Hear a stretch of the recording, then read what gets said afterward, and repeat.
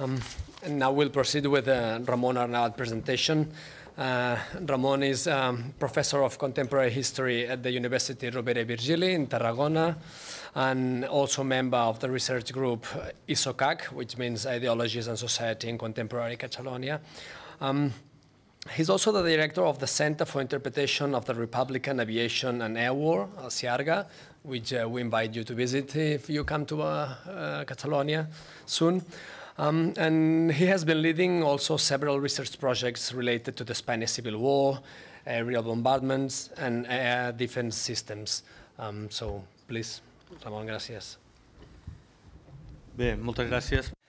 Thank you very much indeed for having invited me to participate and share my perspective on the bombings in Catalonia. Well, there are some points that I would like to touch before starting talking about the bombings themselves. The first element is that the Spanish Civil War was an international conflict. It was an international conflict due to mainly two reasons. First of all, because it was a fight between democracy and fascism, and also because the participation, the international participation was key in order to tip the balance. As you said, as you know, the German, the Nazi Germany and the fascist Italy supported Franco, whereas Stalin, the USSR, supported the Republican government. This international context was also determined by two elements. After the First World War, and especially during the 20th decade, two new key elements appeared, and they were implemented for the first time in the Spanish Civil War. The, one of these concepts is total war, implemented by a German general who thought that front-line wars were over and that now total war was the case, let's say. And on the other hand, Douhet, a, an Italian general, thought about the idea of war or air war and how this would be key after the second, the First World War. Both theories were implemented for the first time in the Spanish Civil War and this was due due to the fact that, well, the developments in the technology allowed to develop a new weapon, which is aviation, bombarders, that somehow have been key in all wars ever since. The key element today to win a battle has to do with owning decent planes, modern planes, and control the air space. Okay, all these elements, all these ideas were implemented for the first time during the Spanish Civil War, when the Franco troops had two different sorts of aviations, one based in the peninsula with the main task of giving support to the front line, and another aviation stationed in the Balearic Islands with the target of hitting the rear guard, whereas the Republican government had only one aviation that was all the time devoted to the front line and not to attacking the Franco rear guard. And that's how we find ourselves in a tricky situation after a certain time of balance. The whole thing tipped on the side of the fascist or Franco supporters. The first aviation that was set up in Spain for warfare purposes, let's say, after the first dotations of the Condor Legion with troops coming from Africa to the peninsula was the Savoia S-81 that supported Franco in keeping Majorca at the hands of the fascists. And from there on, the aviation stationed in Majorca became the aviation that somehow would hit and attack systematically Catalonia and all the Mediterranean coastline. And when it comes to carrying out a balance, and here are the figures, the last figures that we have at hand, we realize that even if both sides had some international support, the unbalance is clear. Italy and Germany contributed with more than 1,500 planes to Franco, whereas the Soviet government supplied 1,000 planes. So the total amount of aircrafts available for Franco was 1,590 aircrafts provided by Italy and Germany, as I said before, whereas the Republican government, well, yeah, they did assemble some planes, some aircrafts, but they only had 1,117 planes. That's how the international support was key in order to win this air battle, which at the same time is key to win the Spanish Civil War. The first proof of force, the first demonstration happened in the Basque country when, by implementing the threats of General Mola, saying, well, we will demolish any possible resistance, the Italian aviation and the German aviation bombed Durango and Guernica, the well-known Guernica bombing. But in fact, the first city to be raided was Durango. So, having said that, what about Catalonia? Catalonia was 250 kilometers from Mallorca, one hour, one hour and a half flight maximum. So not only Catalonia, but also all the Mediterranean coast was under the threat of the fascist aviation stationed in the Balearic Islands, which in fact was a massive aircraft carrier from where all the aircraft that had to attack the rearguard would take off, targeting Almeria, Valencia, Tarragona, Barcelona, all the city, uh, co coastal cities. And this made defense tasks extremely difficult. 360 kilometers from north to south were difficult to protect, and that involved a very important effort from the side of the Catalan authorities to try and deploy the first anti-air raid defense mechanisms, which mainly tried and spot or track these enemy aircrafts, considering that there were no radars back then and it was not an easy task. But in any case, Catalonia deployed a very efficient system, a double anti-air raid defense system based on active defense and passive defense. Active defense was at hands of the troops, which in fact had to try and avoid for enemy aircraft to bomb the rearguard. And the passive defense mechanism aimed at protecting the citizens of these bombarded cities. So it was a double line of defense that at the end of the day targeted at protecting the Republican rearguard. In this environment, Barcelona soon became the true capital of the Spanish Republic. It was the industrial spot of the Republic, even uh, especially before the or after the collapse of the Basque Country. It was the only place where some international support arrived through France and through the Catalan harbors.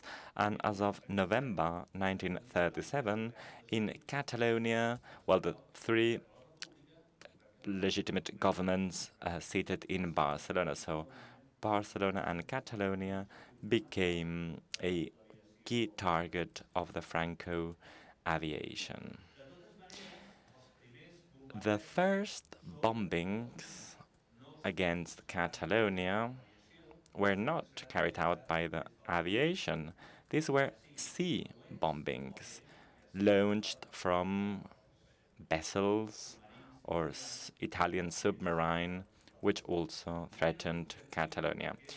What was the main objective of these sea attacks? Well, basically, it was about trying and stop navigation and thus international support and provision of food and weapons, and also blocking the normal life, let's say, of the coastal population, which was in fact very highly populated, very densely populated, and with a certain economic activity. In fact, the first attack that we have been able to assess against coastal towns was against Roses in the north of the peninsula And farther on, the different harbors were hit up all the way down to Tarragona. One of the main attacks, or the gravest attacks, was precisely the attack on February 13, 1937, by the Italian cruiser Eugenio di Savoia that you can see here in this picture. And it was the first attack that actually provoked victims, civilian victims in Barcelona and in Catalonia. 18 casualties and 18 injured in an indiscriminated attack against the civilian population of Barcelona. These were the orders that the chiefs of this ship received. Soon, this campaign, this sea attack campaign, was replaced by airstrikes and the first ones to be victims of air strikes at the end of 1936. Once again, the coastal zone, Colera, Portbou, Llançà, etc.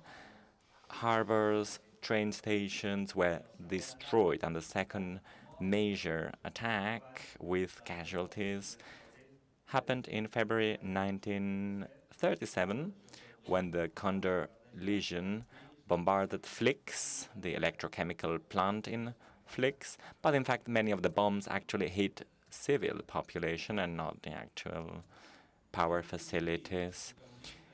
At the beginning, the important thing was the Savoia 81, the Italian Savoia 81, but as of May 1937, the famous aircraft and hydroplane Heinkel HE-59 arrived to Majorca. They became a nightmare for the Republican defense. They had a decisive impact, not so much in terms of victims in Catalonia, but they had a vast impact when it comes to destroying train stations, railways, decks, etc. So, in this sense, it should be said that together with the arrival of hydroplanes, these Heinkel 59 airplanes, the Savoia S-79 also arrived to Majorca. That was the most powerful bombarder in Europe, available in Europe, with a high capacity to transport loads of tons.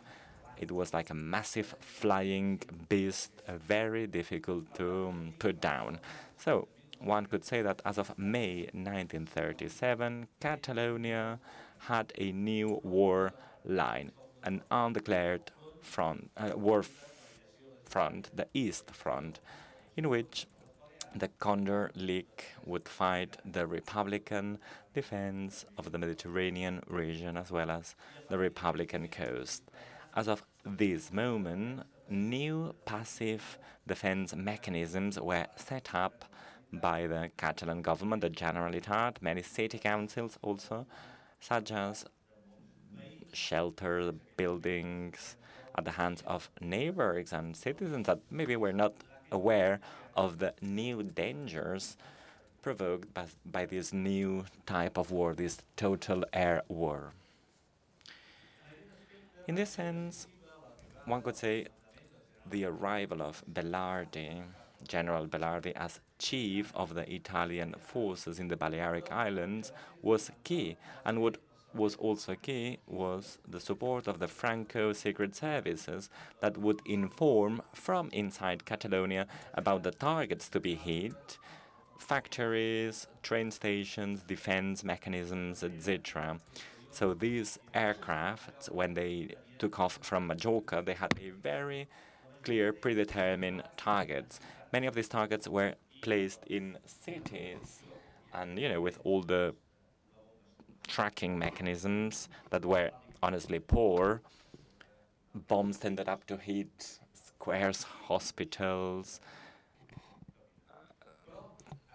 and also beyond the military targets that were determined by the espionage, by the fifth pillar, there were clear attacks against the civil population. We have documents that so prove it.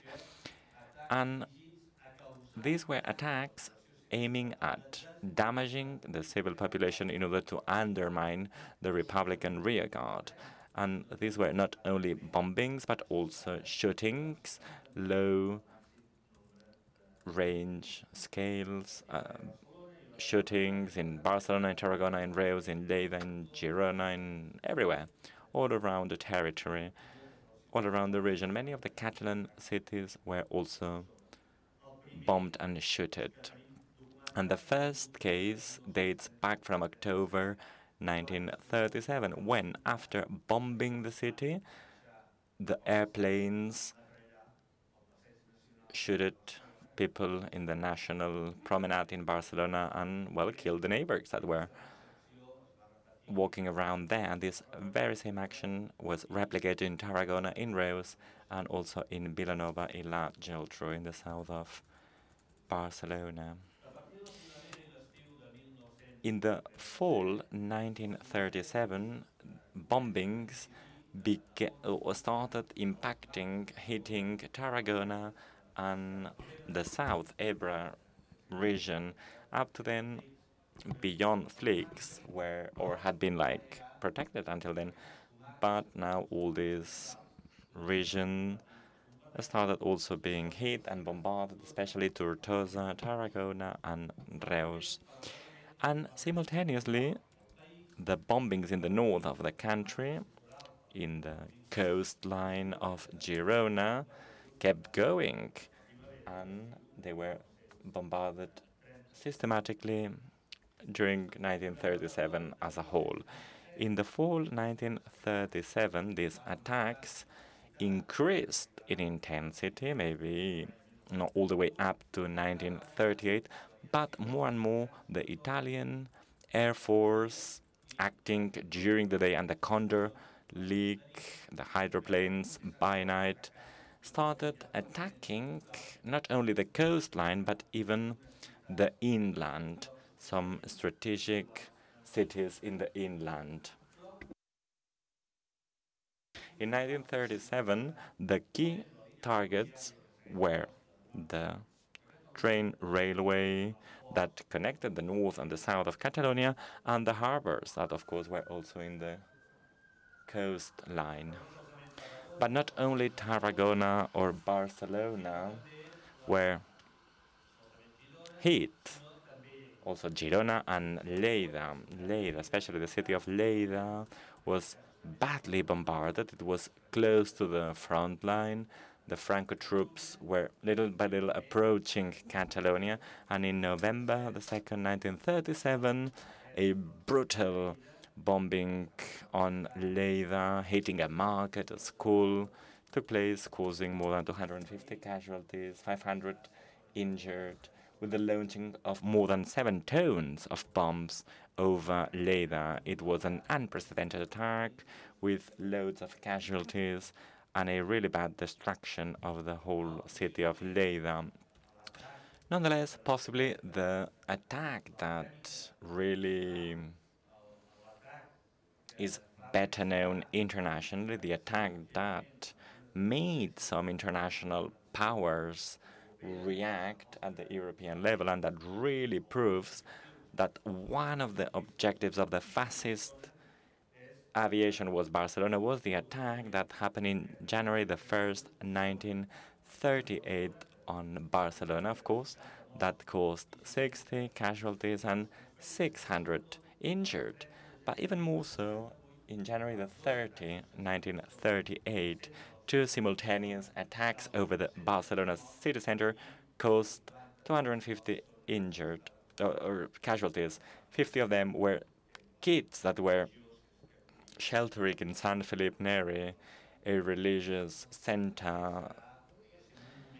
That was a turning moment in this strategy to undermine the Republican rearguard. Also in January, Reus was hit day after another by the Franco bombings. Before we've talked about a specific case, well, according to reports from that from those dates, corpses were found all over the place. And on the 13th, on the 21st, and on the 24th, the bombings in Reus caused more than 114 casualties and thousands of injured. And this is only an example because many, many different cities in Catalonia were object of these bombings.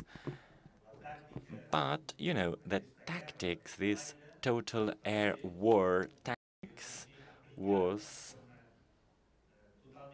implemented systematically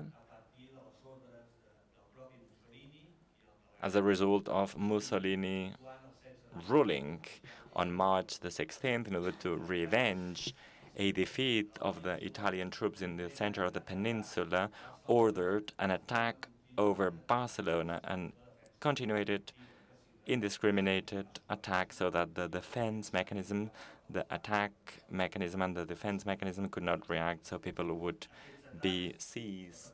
So all these attacks on the 16, 17, and 18 March 1938, which were directly ordered by Mussolini, well, there were 14 air raids in 41 hours, and this caused a total amount of 1,000 casualties and more than 1,500 injured. This was a clear demonstration of the air raids on other cities in Spain and in Catalonia during the Spanish Civil War.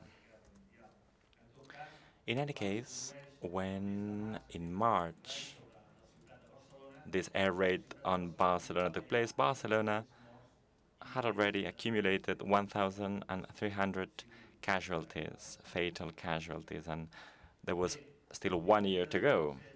In the springtime 1938, the bombings were still very intense, and another of the bombings that hit the civil population really badly and thus having a certain international repercussion affected Granollers on May 21, 1938, when more than five tons were thrown on Granollers in theory to destroy a factory, but in fact these bombs ended up in the city center, causing more than 200 deaths, loads of injured people, and thus the city accelerated the construction of shelters and defense mechanisms. The San Felipe Neri bombing, the bombing over Reus, Granollers, etc., all these somehow boosted the international debate about the bombing of cities. It had previously been debated in the League of Nations in April 1937, and in fact it had been condemned. Bombings had been condemned before they even started, but with very little effect, not to say nothing. It is also true that the English government and the American government, as well as the French government and the Vatican, the Holy See, asked Franco, after the experience of the springtime 1938 to reduce the intensity of their attacks, and even the German ambassador to Spain, who lived in Salamanca, but who had been acquainted with the bombardments in Barcelona, wrote a letter saying that what was happening in Barcelona would have a very negative impact on Germany and on Italy because attacks on civil population were just inexcusable. Of course, a German was saying that uh, those who had bombarded Guernica a month ago, but they started somehow seeing the impact of these bombings in the international sphere. Claims on the international press started to be published, especially in the French and in the English press, and well, especially on Catalonia and on Barcelona. At the beginning of the Ebro battle, the bombings somehow moved down towards the south, towards the Ebro region, and towards Camp de Tarragona. And thus, some cities in that area, especially Tortosa, on August the 15th, 1938, was victim of 20 air raids in a day. 60 towns impacted the city on a same day. And even the Italian aviation said the enemy air has become bombarded. Hemingway, who was who testified this attack, said, "Over our heads, this blue sky has been occupied by these bombarders. When they did let these bombs out, the small town near the Ebro literally disappeared in a growing amount of dust. The dust never posed because more aircrafts arrived, and finally there was like a yellow fog all over the Ebro Valley. So it was an unprecedented attack like the one that had happened in Barcelona, but in this case in Tortosa.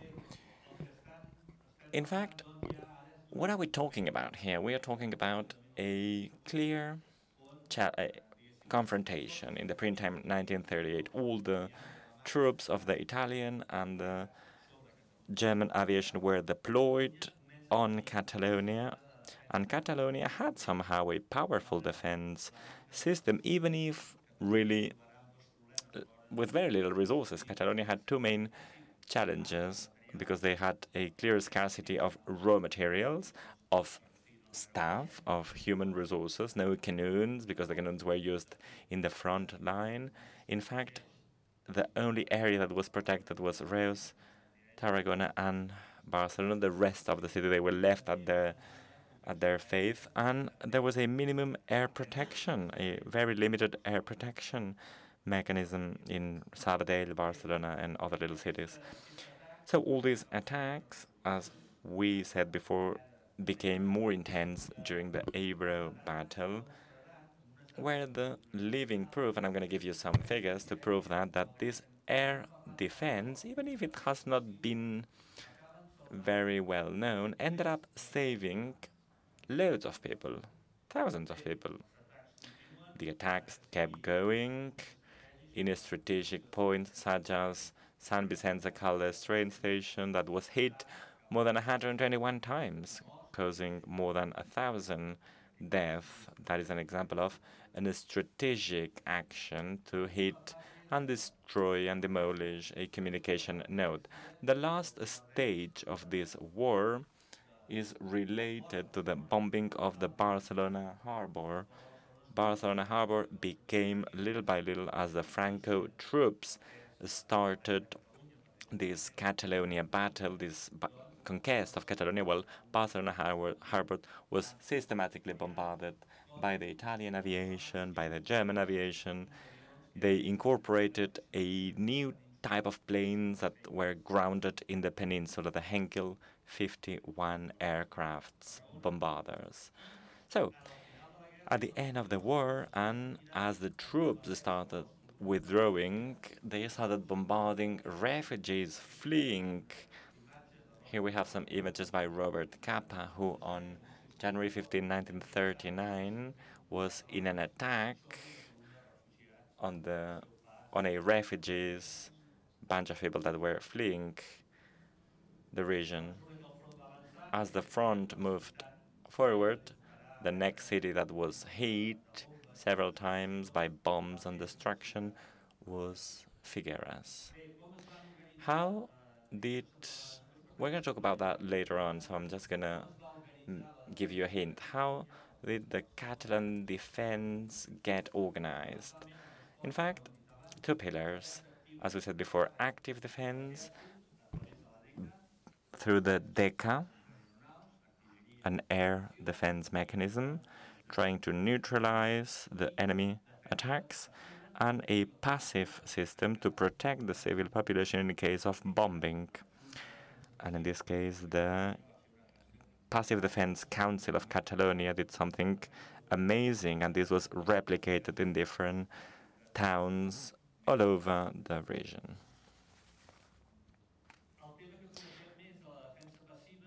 Regarding passive defense, well, one has to underline the role of shelters. Here we have some pictures of these amazing anti-air shelters. But at the same time, passive defense goes beyond. It's a whole system, a whole organization system that allows the civil population to know what to do in case of bombing, what what shelter to head, how to coordinate, rescue, services, etc. Oh, only five minutes left. I will accelerate even more. In the case of Catalonia, there was a pretty decent coordination system between the efforts carried out on both sides to try and make the most of the very little resources available. And one of the key innovations that was implemented at the end of the war in Catalonia was precisely the use of night crawlers, so to speak, some very specific planes that could fly overnight to chase fascist aircrafts targeting Barcelona and Reus and Tarragona. As a result of all this, one can expect the following. One of the main problems that we had in Barcelona and in Catalonia is that there is no such thing as information, statistics about the impact of the civil war. There is no final report, but according to the existing data, due to the bombings, more than 5,000 people died and 25,000 were injured. And on Catalonia, while it was in the rear guard, millions of tons of, bomb, of bombs were thrown. 140 cities in Catalonia suffered the bombings. That's approximately 20% of the municipalities of Catalonia. Many of many more were bombed, but only 20% of them had civil casualties. Here's a map of Barcelona. Here we can see the areas of Barcelona that were that were more heavily bombed with more victims. In this slide, we have a distribution of the victims, men, women, locals, refugees, as well as the age range of those who were killed as a result of these bombings. We will talk about that in more detail later on. There are two points that one needs to talk about when we talk about bombings. The victims of a bombing are not only those who actually die as a result of the attack, as a result of the bomb. Many people die out of starvation, out of not having access to medical care because the bomb destroyed the hospital, and all this needs to be taken into account. And the second element has to do with the psychological damage that bombing provokes this permanent anxiety, not knowing when the planes are going to hit us, where's gonna, where, where's my husband going to be, where is my wife going to be, where's my children going to be. So the destruction of some Catalan cities was significant. Reus, Tarragona, Tortosa, Barcelona were heavily destroyed, many, many of them. And here we have some statistics to end my presentation. In Catalonia, we have carried out loads of research regarding the victims of bombings. We've talked about Barcelona as a martyr of these bombings. The hypothesis that I would like to launch is that Barcelona was a resistant city. Yes, it was martyr, but at the same time it resisted. And thanks to that, thanks to Barcelona's resistance, there was, let's say, only 5,000 killed and 25,000 injured. And here are the figures. Look at the amount of attacks that took place in Barcelona, the amount of victims, and the amount of attacks. Pay close attention to this. As of the print-time 1938, the amount of attacks increased, but the amount of victims dropped. That means that the passive and active defense mechanisms worked. And this data can be confirmed in Tarragona. The same thing applies. More bombings, less victims. This proves that these active and passive defense mechanisms worked, maybe not at its best, but pretty well. So it is also said that never a plane was hit down. Yes, that's not true. Look at the Savoia 91, touched and demolished by the anti-air raid defense. Yes, they were put down. And I would like you to take this message home. London has boosted the image of a resisting city, whereas in Barcelona and Catalonia we have stick to the role of martyr.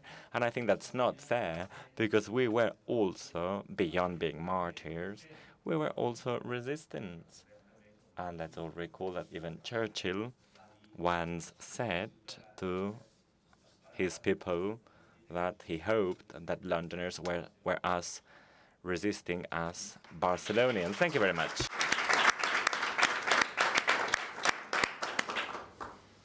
Gracias, Ramon. Well, thank you to both of the speakers, and now time for questions. Mike, Chris. I'd like to ask about London in uh, 1940. Uh, while sections of the elite could have, deep shelters, private deep shelters. For instance, the Dorchester Hotel was built of reinforced concrete, and the Turkish baths were converted into an air raid shelter in which Lord Halifax, the Foreign Secretary, was one of the regular visitors. Meanwhile, the underground system was stopped from being used as, air, as shelters. It took demonstrations and then eventually direct action in September 1940 for ordinary people to physically occupy the underground stations so the, the underground could be used as deep shelters. So there was a, a slight class dynamic going on here in terms of uh, what was going on and what was regarded as the population. We've mentioned the Anderson shelters as well.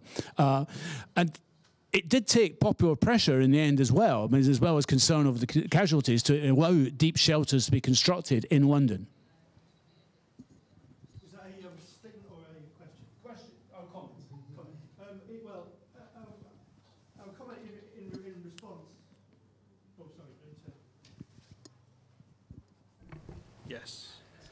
Thank you. Um, the politics of air raid protection is absolutely uh, fascinating. Um, I think there's a lot of work still needs to be done on organisations like the Stepney Tenants uh, Defence League.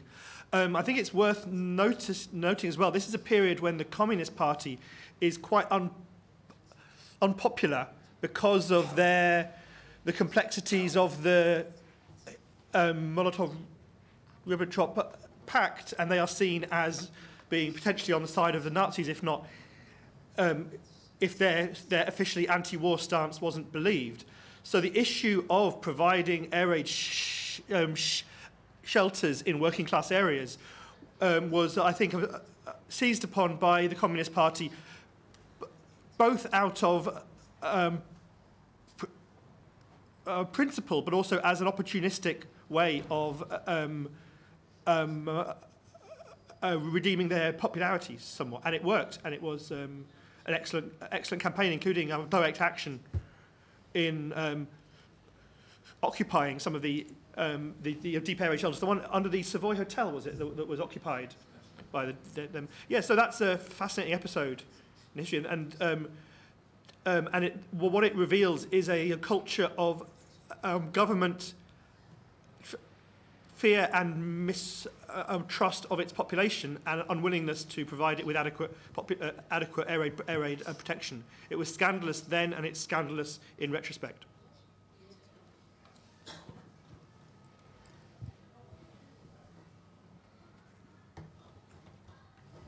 Any other questions? Well, I have a question for, for you too. Um, according to your um, um, work and to your experience working with, uh, for instance, in the case of Ramon in, in the in the museum in in CIAGA, it's a museum um, dealing with the history of the bombings in in, Barcelona, in Catalonia, in El Penedès area specifically, and um, your experience working with uh, children, for instance, and doing archaeology um, work. Um, are you approaching the nowadays bombings in, in in Syria, let's say, or in other parts of the world, um, using the memory of the, the attacks in both in UK and Catalonia? Both of you. I'm happy to, to go first, yeah. Um, absolutely, I mean, um, yes. Um, for me, this is mostly in my work looking at um, the way of children respond to, to a total war. Um, the um, patterns of behaviour um, that I that I find when I study the Second World War are very common for our children in uh, conflict zones around the world from the very early period into the, the present. The practice of um, collecting bullets and um, shrapnel, of playing in air raid um, shelters, of playing in bombed houses and turning them into adventure playgrounds.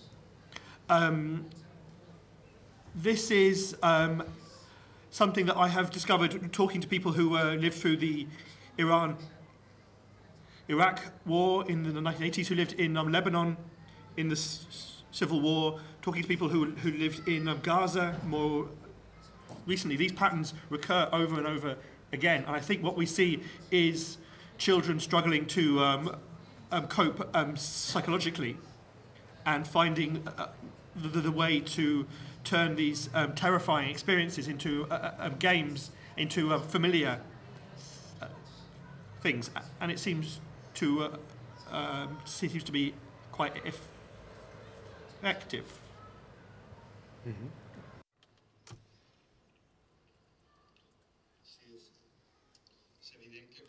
Yes, of course. When people come to visit our center or our shelters, the first thing we try to do for boys and girls visiting these spaces to realize what does it mean to live under bombs.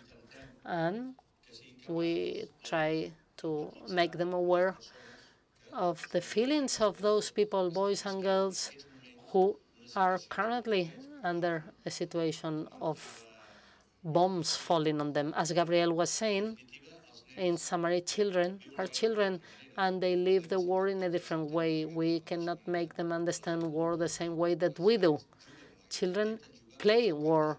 They try to play because if they don't play, they will be sick, psychologically sick. So although their misery and dismay, children try to play with the earth coming from these shelters. And when we see images of people and places being bombarded, we realize that the same images are happening again, like these children who are staring at the impact of a bomb in this picture. I think that what's worthwhile trying to explain our students is that this type of war, this total air war, which started to become massive with the Second World War, and the Indio-China war nowadays continues to be the type of war that we have.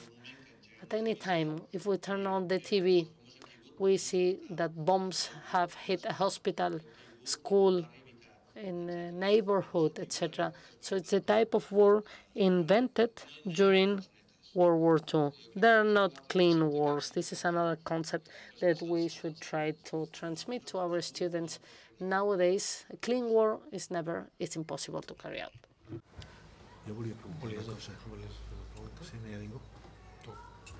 If nobody else has a question, I have a question. Related to the question that you have formulated, I have a question for Gabriel. The British government sent, 1938, different people to study what was going on in Barcelona, how a city like Barcelona was defending itself, and what were the consequences of the bombs. But apparently, they took not advantage of the experience. And I'm saying that because in the case of Barcelona, in many cases, the initiative to build a shelter came from the neighbors who also, at the same time, needed the help of people paying for it, the mortar, the stones, etc. Therefore, there is type of uh, type of complicity between the administration and the city halls and the civil society. And building shelters, 1,300 shelters in Barcelona cannot be explained without this complicity. Apparently, in England, things did not go the same way. The civil initiative, was it there any civil initiative or no? Yes, there was um, a few cases where um, the projects to construct air raid shelters were from the um, uh, community. One example was um, led by a soldier called Tom Wintringham, who was in who was first uh, fighting in Spain with the International Brigade, and when he returned to Britain, he was wounded. I think he returned. Uh, to Britain and he founded a group called the Barnsbury Diggers in Barnsbury in North London. They went to public parks and they started to to uh, to uh, excavate uh, um, trenches for uh, air raid shelter, and this was uh, somewhere between a a protest and a performance but it was aimed to stimulate the government to say where are the air raid, air raid shelters. Now, this was shortly before the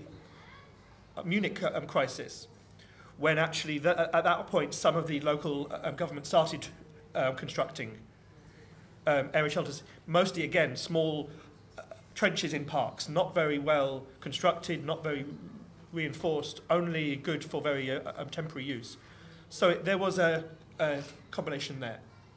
So that's one, example. Um, there's an issue of um, government um, control and the tensions between the local government and national uh, government. And there's an issue of where the responsibility for the construction of these shelters lies and where the uh, money is, is uh, provided. So the London uh, district of uh, Finsbury attempted to construct enormous um, underground deep sh shelters that would have provided protection for the entire population. But they were not allowed um, by the central um, government, the Conservative government, to, uh, uh, to spend the, the, the money on this. It became a legal problem. Some of the councillors were arrested. Really? One more question. Sí. Jo volia preguntar a través Yes, I wanted to ask, and this is related to this idea that you mentioned towards the end of your talk, Ramon, that Barcelona had an idea about itself of victimism, and we should reinforce the idea of resistance, resistant city. My question is the following. The idea of this conference was to share memories between two cities. So I would like you to give um, your opinion, Ramon and Gabriel, why this difference about two bombarded cities? London has a stronger idea about the resistance and the role it played, and Barcelona wanted, or maybe kept the idea of being a victim why is that? It's because one country was winner after the war and the other one was a loser because many years have gone by and we could change this idea of Barcelona. I have written and made some proposals and some interventions even. The Turó de la Rovira, which is the defense, anti-aerial defense of Barcelona precisely, which was completely forgotten. First policy of memory was trying to recover shelters of passive defense. I think that, how would I say it? Probably is related to the spirit of the Catalan people. We're used to losing. So we present ourselves as victims, except for football, soccer, Spanish soccer. But what I mean is that from an international perspective, things have not been dealt enough. But March 1932, a conference took place in Paris to talk about the bombs on open cities. Jaume Miravitlles presented the film on the bombs, which is Martyr Catalonia. And there we have the hashtag Catalonia Martyr. So we'll try to recover this and recover the history of all this. If we just pay attention to the victims, and this is one of the problems not only of the bombs, but also when we develop policies of memory, we just pay attention to the victims. Let's think from a broader perspective. Victims did exist, but some people was fighting, or they were victims because they were fighting. One can be a victim of a car accident, but you are a victim of a repression because you were fighting. Therefore, in this sense, I think that Catalonia and the cities, city halls, made a great effort of defense, active and passive. And therefore, when we walk around London, we find monuments, plaques, reminding us of the raft. When we walk around Barcelona, the only thing that we have, and recent, it's a monument in front of the Coliseum, trying to remembering the victims of the bombs. That's four days young. We don't have any memory for those defending Catalonia, Barcelona, the active defense of Catalonia. Here we have a picture by the Board of Passive Defense of London. In Catalonia, we have nothing like this. And therefore, I think this is a political decision. And the Generalitat, the City Hall, the associations were based in victimism. They should say, yes, we were victims, but we resisted also. I think in, in London it's complicated. Um, as I mentioned before, there was a very strong effort from the government to create a mythology of the Blitz, of the public response to the Blitz. And this, this, this propaganda effort began in the middle of the, the Blitz itself. And it was incredibly powerful and incredibly eff effective, and it, and it has lasted um, in a number of ways. I mean, the um, keep calm and carry on. This is, this is a contemporary example of, the, of how this myth mythology has become popular, has remained incredibly, incredibly uh, popular, even though those posters were never actually uh, used in the war. They never existed in the war. They were just uh, uh stored. So that's, that's an example. But larger than, than that, there is an idea that the experience of the London Blitz has been turned into the national experience of air war, when in fact there was a great deal more um, complexity and uh, diversity. So there were very different experience of bombing in Glasgow, in Coventry, in Bristol, and responses uh, to those were very strong as well. In London, this mythology never touches the ground. If you look for the memorial to the civilian victims of the London Blitz, you find a round black stone about that high, it's big, next to St. Paul's uh, um, Cathedral. It's ugly. It was put there as part of a campaign by a national newspaper. No one, no one ever really visits it. Um, you can find memorials, small memorials here and there to particular events, particular uh, um, um, casualties. You have something like the um, in Bethnal Green, the Stairway to Heaven Memorial um, Trust, which is partly a campaign to memorialise part of the Blitz, and it's partly an effort to stamp white working class identity onto a now very ethnically diverse part of London in a very aggressive, uh, problematic uh, way. So the memory of the Blitz in Britain is still something you can use to make money and you can uh, weaponize. And it's, it will, it's, it's one of the most powerful mythologies that we have. In, in British hi history, we are very rarely the victims and we're very rarely the uh, uh, uh good guys. So we cling on to this experience. Okay. Thank you. Thank you to both of the speakers. And we'll continue right now with a short explanation before screening a documentary on this uh, topic, of course. Thank you.